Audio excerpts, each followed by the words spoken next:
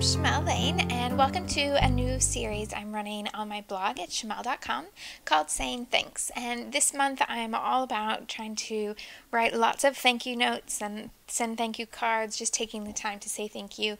And I'm going to show some easy little tutorials on making handmade cards along the way.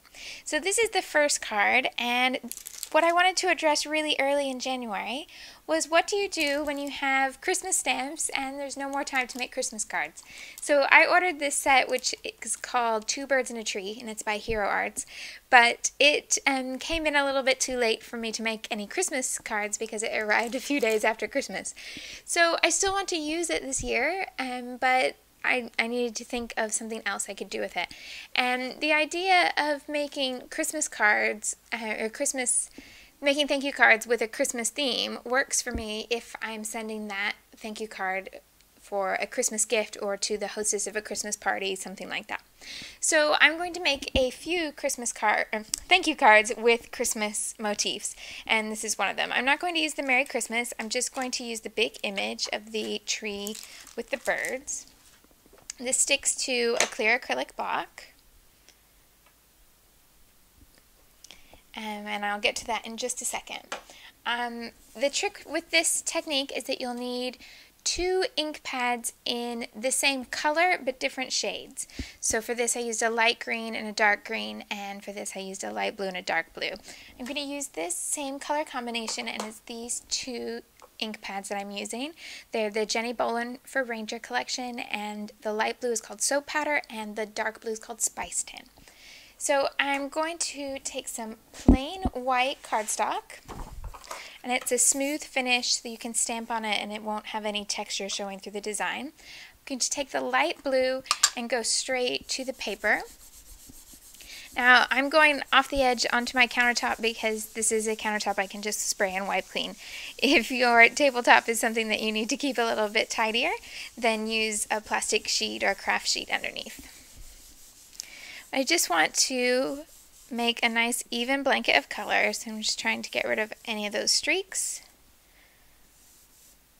There we go. You can also do that with a blending tool, of course, but for a big expanse like that, it's really easy to just go direct to the paper. Then I'll let this dry for a little bit, and while I let that dry, it doesn't take very long at all because it's a dye ink. And I'll ink up this big stamp. Now, Jenni, oh, sorry, Jenni Bowlin ink pads are a little smaller than the usual ink pad. Let's see if I can give you a comparison. So they fit really easily in your hand, but it does mean that on a large stamp, you're going to want to take that ink pad in your hand and, and stamp onto the stamp rather than the other way around. And this stamp is one where instead of a line drawing, you're actually uh, filling in a big block of solid design and then the picture of the tree comes out in the negative. So there's quite a lot of ink. So that just means that I keep stamping until it's all covered and I'm looking to see if there are any lines from the corners of the ink pad and I just keep stamping until those are all gone. Just keep inking, inking, ink. Okay.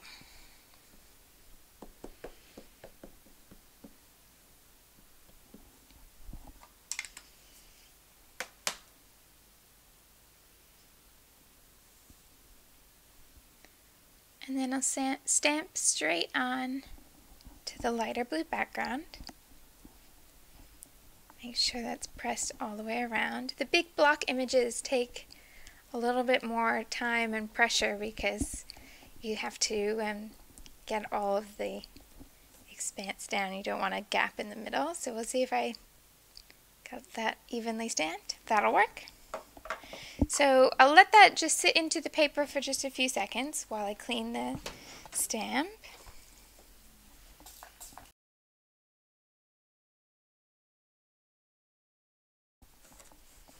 And the Jenni Bowlin inks come right off. There's no trouble at all, which I do. That's one of my favorite things about them. They're really easy to clean. And then because this is kind of a, a starry night or a, a, snowy scene, I'm going to add some pearl to that and I'm going to use the Mr. Huey Calico Shine. It's just a clear pearl color and you can see on there perhaps. So just shake that up. And then spray right over the top.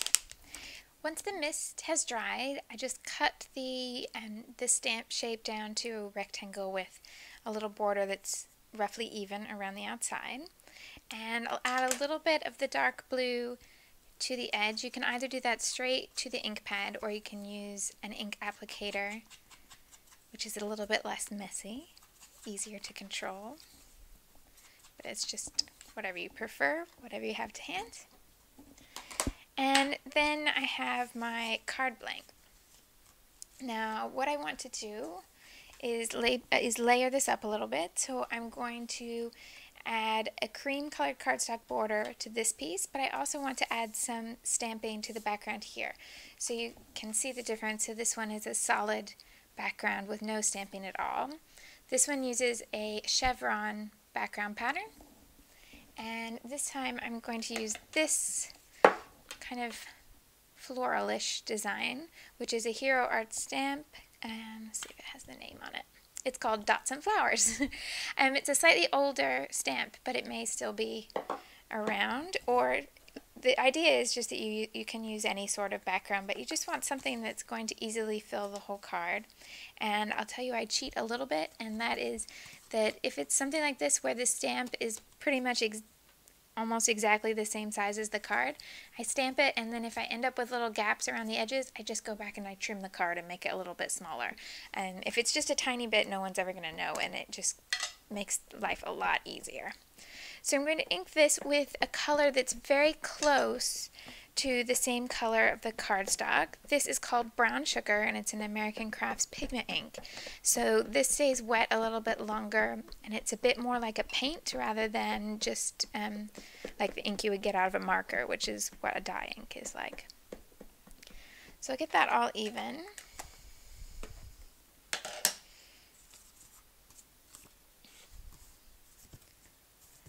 And then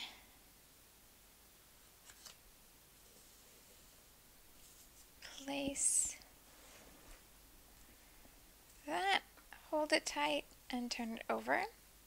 The other thing that is easy to do with a big stamp like that, rather than trying to turn it over without moving it, is to use it just straight up, like um, without turning it over, and use a brayer over the top. But unfortunately, I have um, left my brayer somewhere else at the moment, so I'm just going to do it this old-fashioned way. I'll show you the brayer another day, promise. I'll get it back. Okay, let's see if I moved it. Alright. So it's just a very faint design because of the, the light color. And this is a bit more delicate pattern than this one, so where this was quite a, a thick block, you can see that a little bit more. And I've managed to hit all of those edges, but not quite this one, so I'm just going to trim a tiny little bit off the top, so I'll take about a quarter of an inch off the top of that.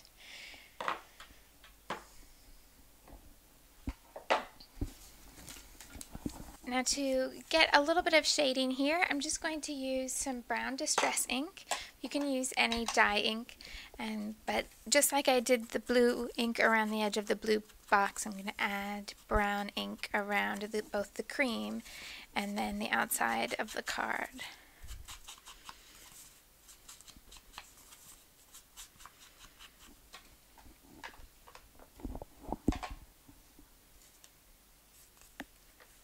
Now, there's one last step to this, and that's adding the sentiment. And for my kind of thank you message on this one, I'm using a set from Technique Tuesday, which has all these different words and I'm going to use the one that says you are the best. Now these are really delicate and you don't have to press very hard and sometimes um, I don't stamp them quite perfectly. So what I do is I don't stick this to the card until I have this right because then I get more than one chance. I can always turn the card over and start again. So um, just grab the blue, dark blue ink again.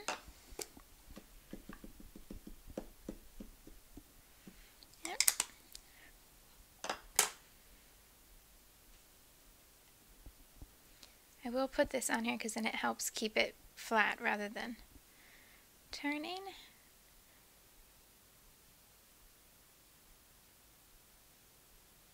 And I'm just looking through the clear stamp to make sure it looks like all the different elements of the letters have hit the paper and then pick it up rather than doing any hard pressing and that's how it will come out clean.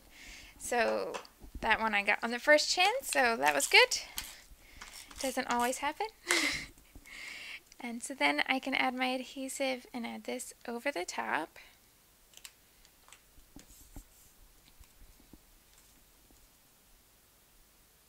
For a really simple card. And then you can add more to this if you want. You can tie um, ribbon or twine around this element. You can add some stars on pop dots all sorts of various different things that you can add to the design to um, make it a bit fancier. Or if you think this card is going to someone that would appreciate just nice, clean, and simple, you can leave it like this, write your message inside, and off you send it. So um, thank you very much for joining me for the very first video in saying thanks, and I hope you will come back and watch some more and craft along with me. Thanks for watching.